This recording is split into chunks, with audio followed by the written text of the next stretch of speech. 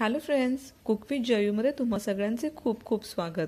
आज आपण हेल्दी आणि टेस्टी असा पारंपरिक महाराष्ट्रीयन पदार्थ बघणार आहोत.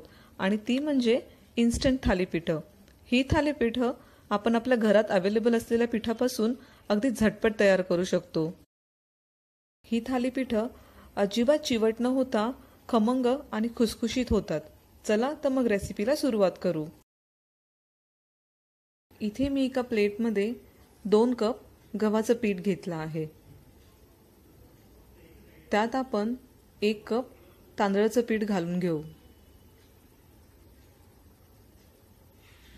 एक कप आपल्याला ज्वारीचं पीठ देखील घालायचं आहे व एक कप बेसन घालून घेणार आहोत. सर्व पिठं आपल्या घरात अगदी सहज उपलब्ध असतात. त्यामुळे हे थालीपीठं अगदी झटपट तयार होतात. ही सर्व पिठं आता आपण छान मिक्स करून घेऊया. त्यात आता मी एक बारीक चिरलेला कांदा घातला आहे व थोडी बारीक चिरलेली कोथिंबीर घालूया. यामध्ये चवीनुसार मीठ घालणार आहोत. एक चमचा हळद एक मोठा चमचा लाल तिखट एक चमचा धना पावडर व अर्धा चमचा जिरा पावडर घातली आहे. इथे मी एक चमचा ओवा घेतला आहे व तो आपण हातावर छान चुरून घालणार आहोत. त्यामुळे ओव्याची चव थालीपीठाला अगदी छान येईल. आता मी यामध्ये थोडेसे पांढरे तीळ देखील घालणार आहे. तुमच्याकडे नसतील तर तुम्ही नाही घातले तरी चालतील. आपण हे सर्व मसाले पिठामध्ये छान मिक्स करून घेऊया. व आता थोडं थोडं पाणी टाकून आपल्याला हे पीठ भिजवून घ्यायचं आहे. थालीपीठासाठी आपल्याला खूप घट्ट पीठ भिजवायचं नाही आहे एक सेमी सॉफ्ट चपातीला जसा डो तयार करतो त्याच पद्धतीने आपल्याला पीठ भिजवायचं आहे. तुम्ही इथे पाहू शकता माझं पीठ भिजवून तयार झालं आहे. मी एका वाटीमध्ये थोडं पाणी देखील घेतलं आहे. थालीपीठ थापताना आपल्याला ते लागेल. पोळपाटावरती मी एक कॉटनचा रुमाल ओला करून ठेवला आहे. बऱ्याच लोकांना तव्यावरती डायरेक्ट थालीपीठ थापायला जमत नाही. तर आपण या पद्धतीने थालीपीठ करून बघा. ही खूप सोपी पद्धत आहे व यामुळे थालीपीठं अगदी पातळ आणि झटपट तयार होतात.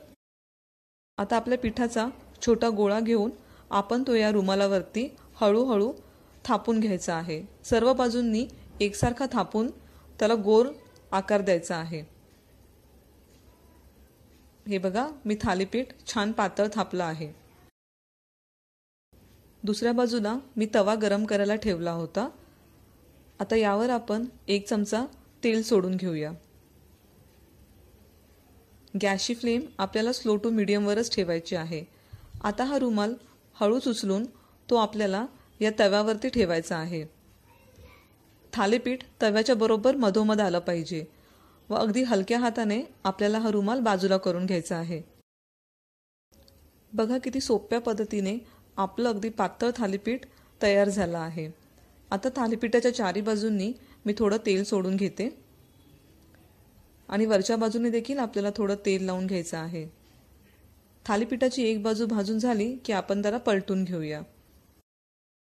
थालीपीठ मस्त खरपूस होईपर्यंत नीट भाजून घ्यायचं आहे. एक थालीपीठ भाजेपर्यंत आपल्याला दुसऱ्या बाजूला रुमालावरती तशाच पद्धतीने दुसरं थालीपीठ थापून घ्यायचं आहे. या पद्धतीने थालीपीठं अगदी झटपट तयार होतात. आपल्याला दोन्ही बाजूंनी आपलं थालीपीठ मस्त खरपूस होईपर्यंत भाजून घ्यायचं आहे. हे पहा आपलं थालीपीठ अगदी छान भाजून तयार झालं आहे. आपण आता थालीपीठ सर्व करूया. थालीपीठं गरम गरम अशीच पण खूप छान लागतात. पण तुम्ही दही चटणी किंवा सॉससोबत देखील सर्व करू शकता. वेळा थालीपीठं थंड झाली की ती चिवट होतात. पण या पद्धतीने तुम्ही थालीपीठं नक्की तयार करून बघा. ती अजिबात चिवट होणार नाहीत. शेवटपर्यंत तितकीच सॉफ्ट राहतील. ही खमंग खुसखुशीत आणि इन्स्टंट थालीपीठं तुम्ही नक्की ट्राय करून पहा. आणि तुमचं फीडबॅक मला कमेंट सेक्शनमध्ये द्यायला विसरू नका. तुम्हाला जर माझी आजची रेसिपी आवडली असेल तर लाईक शेअर कमेंट करा आणि कुक विथ जयू चॅनलला सबस्क्राईब करायला विसरू नका. माझ्या नवीन रेसिपीजचे अपडेट पाहण्याकरता बाजूचे बेल आयकन देखील जरूर दाबा. धन्यवाद!